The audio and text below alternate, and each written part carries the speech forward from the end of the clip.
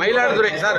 ஆட்சிக்கு வந்தாலே இந்த மாதிரியான ஒரு சூழல் இருக்கு. இதை இந்த மின்வெட்டு பிரச்சனை என்பது கடந்த இருபது ஆண்டு கால பிரச்சனை அதில் யார் ஆட்சிக்கு வந்தாலும் நாங்கள் தமிழ்நாட்டை மின்மிகை மாநிலமாக ஆக்குவோம் அப்படின்னு பல முறை பல தலைவர்கள் பல முதலமைச்சர்கள் காலத்திலிருந்து ஜெயலலிதா அவர்கள் காலத்திலிருந்து எடப்பாடி பழனிசாமி அவர்கள் சொல்லிட்டு வராங்க ஆனால் மின்மிகையா மாத்தல. அதுக்கு காரணம் என்னன்னா இப்போ தமிழ்நாட்டினுடைய மின் தேவைகள் ஒரு தோராயமாக பார்த்தீங்கன்னா ஒரு பதினேழாயிரம் மெகாவாட். கோடை காலத்தில் ஒரு கூட- கூடுதலாக ஒரு ரெண்டாயிரம் மெகாவாட் அப்படிப்பாங்க இதில் தமிழக அரசினுடைய மின் உற்பத்தி நிலையங்களில் ஒரு ஐயாயிரத்தி ஐநூறு மெகாவாட் மின் உற்பத்தி. மத்திய அரசிடம் இருந்து கிட்ட ஒரு நாலாயிரத்தி ஐநூறு மெகாவாட் மீதி கிட்டத்தட்ட ஒரு ஆறாயிரம் மெகாவாட் தனியார் கிட்ட இருந்து வாங்கிட்டு இருக்காங்க. நிலுவையில் கிட்டத்தட்ட ஒரு நாலாயிரத்தி ஐநூறு மெகாவாட் மின் நிலையங்கள் நிலுவையில் இருக்கு. இன்னும் கட்டல. இது கிட்டத்தட்ட ஒரு ஐந்து ஏழு ஆண்டுகள் காலத்துல நிலுவையில் இருக்கு. இது வந்து சீக்கிரமா முடிச்சிருக்கு ஆனா முடிக்காத காரணங்கள் தான் இந்த மின் இந்த சூழல்ல வந்திருக்கு. அறிவிக்கப்படாத மின்வெட்டுகள் இருக்கு. இது ஒரு காரணம். மற்றொரு காரணம் வந்து நிலக்கரி பற்றாக்குறை இந்தியா முழுவதும் இருக்கு. அதுக்கு வந்து முன் முன்னேற்பு நடவடிக்கைகள் எடுத்திருக்கணும். அதாவது பிளான் பண்ணி திட்டம் பண்ணியிருக்கணும் ஆஹ் அது ஒரு காரணமா இருக்கு.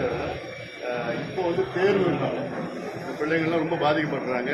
அதனால மின்வெட்டு இருக்கக்கூடாது. சென்னையில பரவாயில்ல. ஆனா ஊர்ல கிராமத்துல ஆறு மணி நேரம் எட்டு மணி நேரம் மின்வெட்டு தான் இருக்கு. அதனால உடனடியாக அரசு மின்வெட்டு இல்லாத ஒரு சூழலை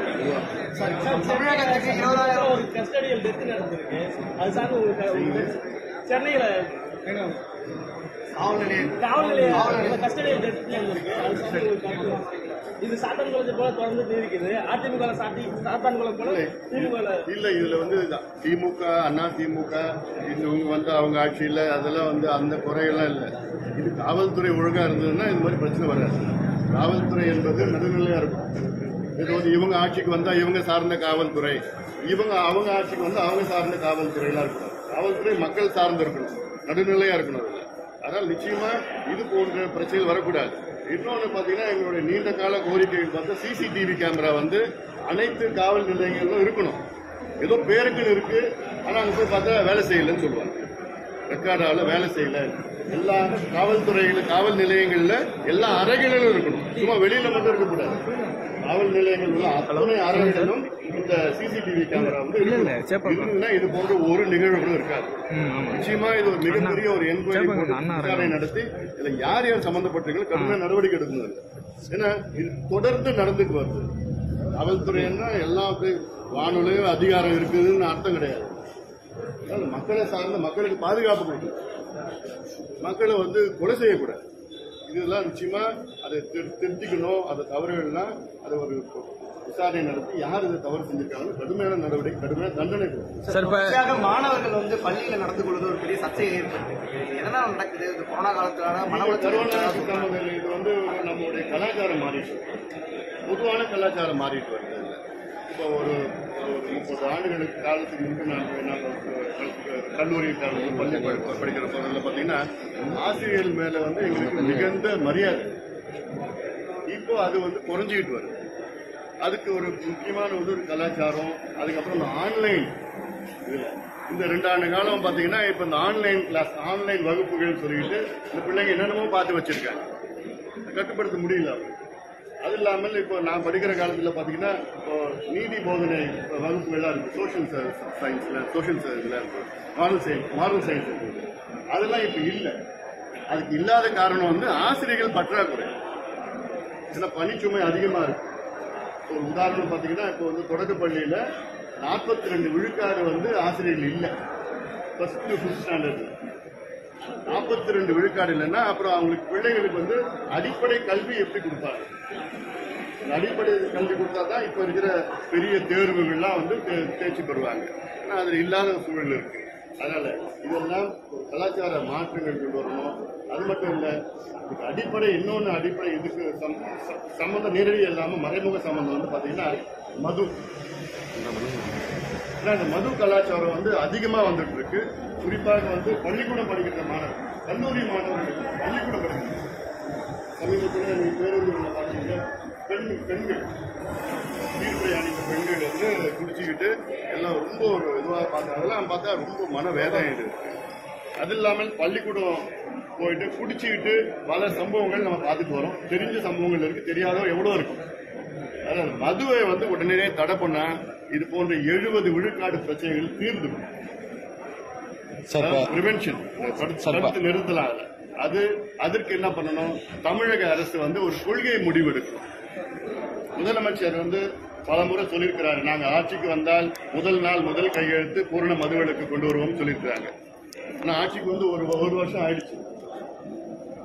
இனி நாலாண்டு காலத்துல அரசினுடைய மது சம்பந்தமான ஒரு கொள்கை முடிவு அது சம்பந்தமான செயல் திட்டம் ஒன்று ஒரு வெளியிடணும். என்ன செயல் திட்டம்னா இந்த ஆண்டு நாங்கள் வந்து இரண்டாயிரம் மதுக்கடைகளை மூடுவோம். அடுத்த ஆண்டு ஒரு ஆயிரத்தி ஐநூறு அடுத்த ஆண்டு ஒரு ஆயிரம். இப்படி வந்து அடுத்த நான்கு ஆண்டுகளில் பூரண மதுவிலக்கு கொண்டு வருவோம் என்று ஒரு செயல் திட்டம் கொண்டு வந்து ஒரு கொள்கை முடிவு அரசு அறிவிக்கணும்.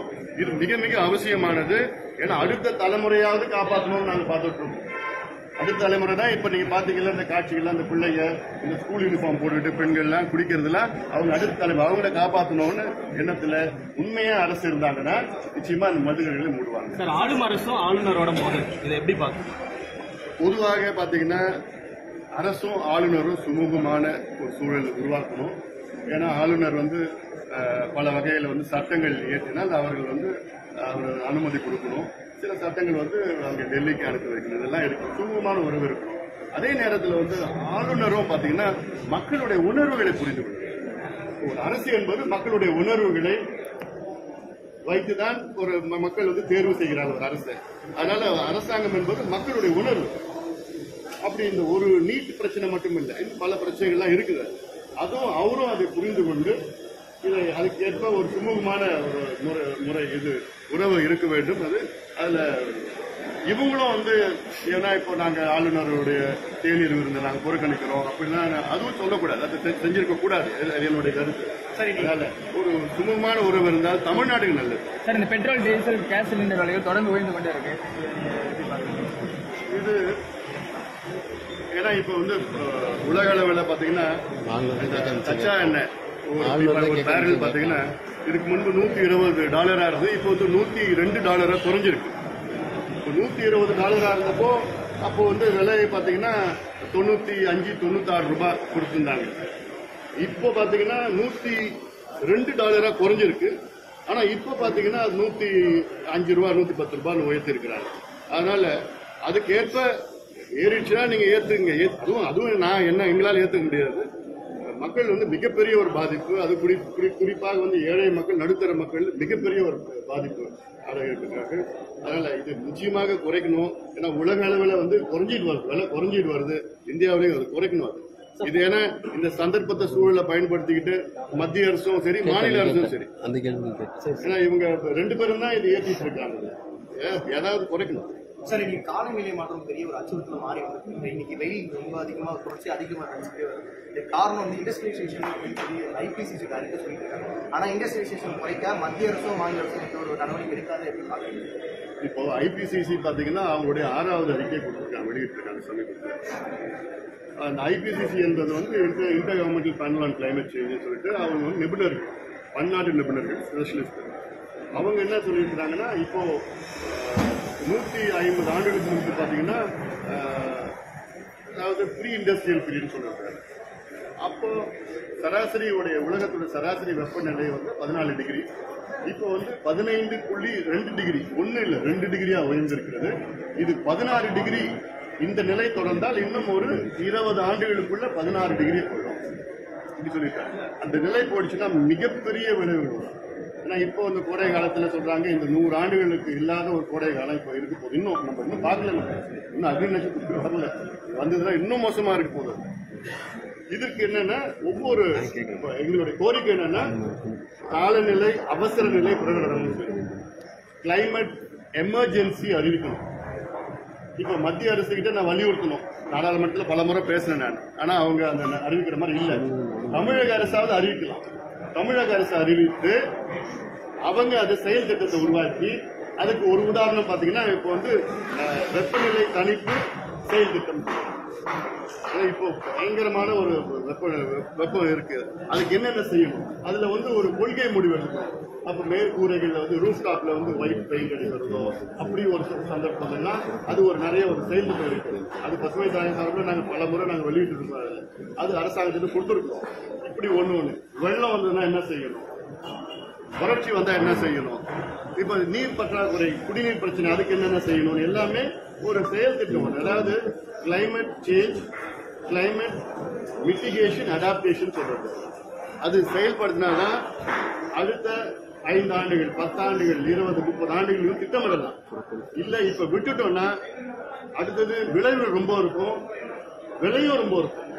விலைகள் மட்டும் விளையும் இப்ப இன்னைக்கு வந்து அதுல செயல்படுத்தணும்னா கிட்டத்தட்ட ஒரு நூறு கோடி ரூபாய் செயல்படுத்தணும்னா இது விட்டுட்டோம்னா இன்னும் ஐந்து ஆண்டுகள்ல ஒரு ஐயாயிரம் கோடி ரூபாய். ஆனா இப்பவே வந்து அது திட்டமிட்டு அதை செயல்படுத்தணும். அது நாங்க யோசனைகள் எவ்வளவு கொடுக்குறோம் அது அரசு ஏற்று அதை செயல்படுத்த வேண்டும்.